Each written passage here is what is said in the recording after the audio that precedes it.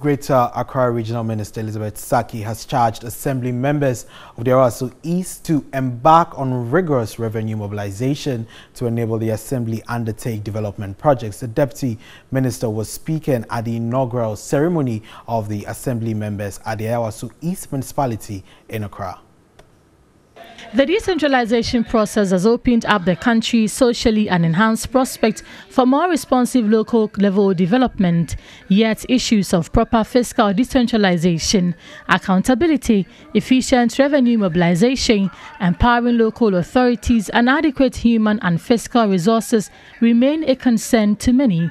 Administering the oath of secrecy to Assembly members, Deputy Greater Accra Minister Elizabeth Sackey challenged members to embark on rigorous revenue mobilization to enable the Assembly undertake development projects in the municipality.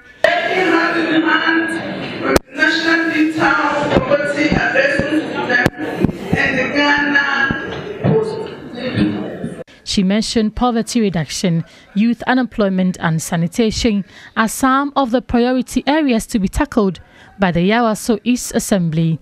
She emphasized the need to strengthen the operationalization of substructures to afford residents the opportunity to participate fully in decision making.